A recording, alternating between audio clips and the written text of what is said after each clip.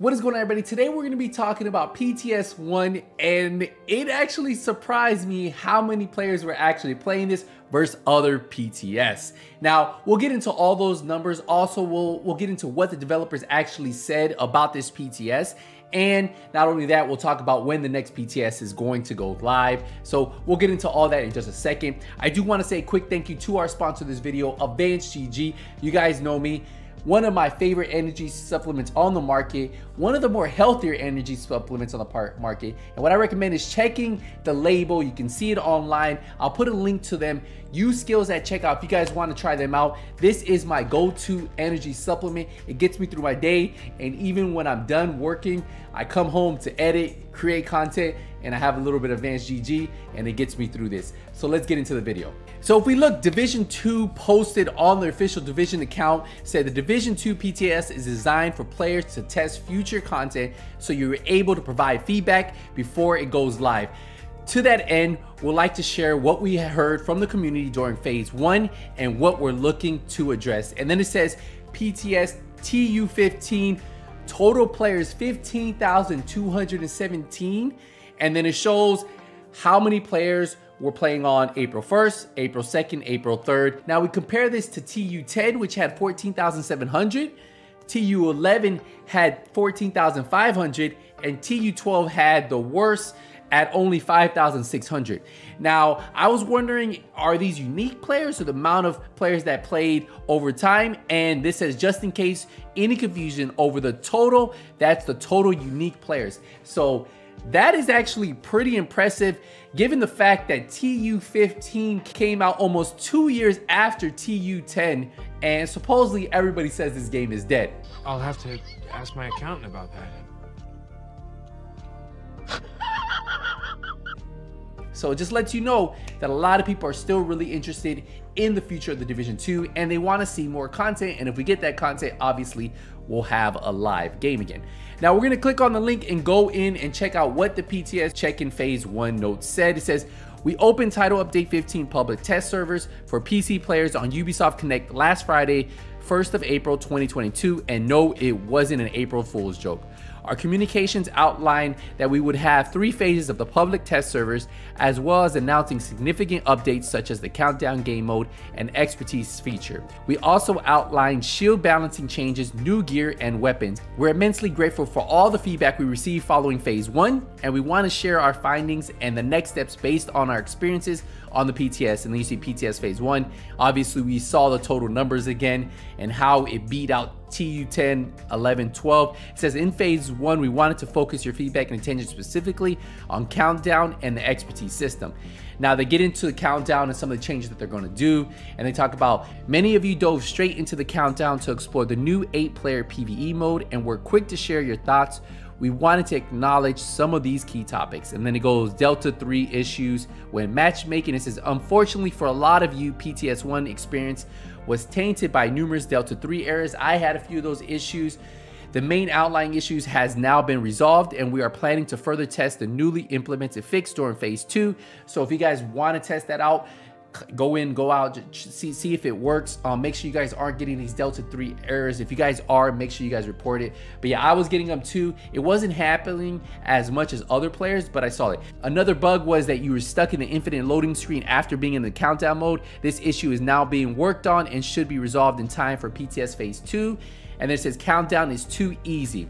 Now, I heard that from a lot of people saying that with their maxed out builds, they felt that it was really easy. And then it says, Originally, the new mode was planned to be on par with the heroic difficulty. To add more context, our goal was to make it challenging but not impossible to beat for eight match-made players of mixed build qualities, as well as add an additional challenge for the players with more organized group and better builds to try and complete it with less than eight players. The mode's difficulty is currently incomparable with what we envisioned for Countdown and your feedback over the past week reflects this. We are continuously working on improvements on the mode and for now you can expect enemies HP adjustments though their lethality might stay the same as we do not want to overtune the difficulty to make sure that the Countdown is highly replayable and suits the greater variety of playstyles. A lot of you mentioned one difficulty option is not enough to meet every, everyone's expectation. We hear you going forward. We are planning to investigate the possibility of adding other difficulty options, but it's too early to talk about any specifics right now.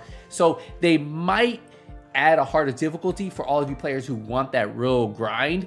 But for now, it looks like there's one difficulty, but they did add the, the HP adjustments and they still are gonna hit the same. So you probably won't feel any difference there, but they're gonna be a little bit chunkier. Now they do talk about the loot rewards in Countdown. Some of you guys said that the loot was dropping and it was a little too generous. Let's read what they said. They said, without a doubt, the rewards are one of the components of the mode's replayability and attractiveness, but that was not the primary intention behind the development. We would love the experience itself to be the main focus. Handing out too much loot can be frustrating when the mode is time limited and does not allow you to look at or sort through the loot drop.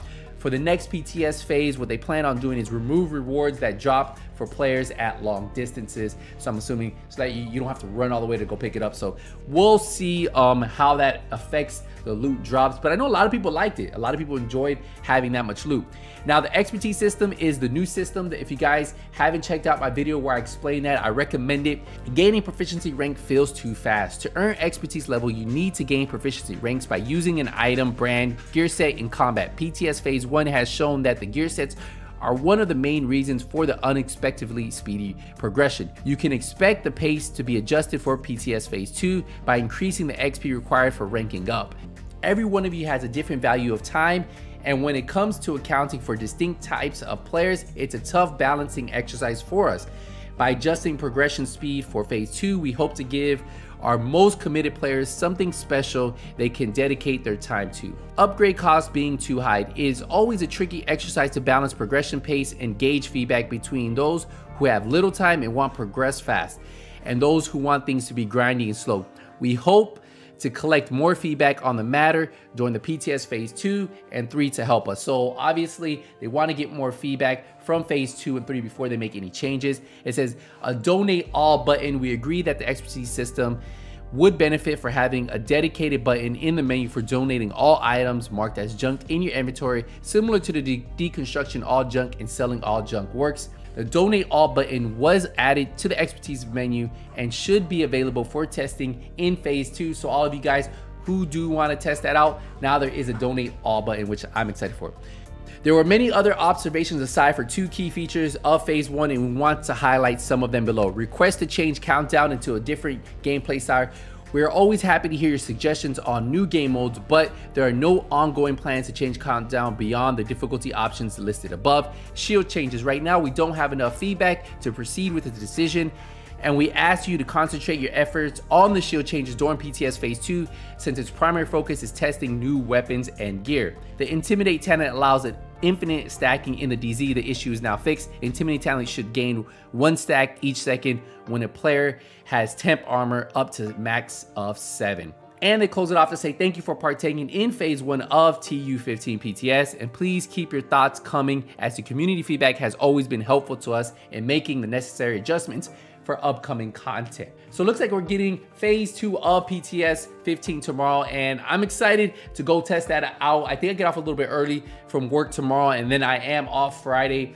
So I will be playing the PTS and I should have some videos up and loaded for you guys.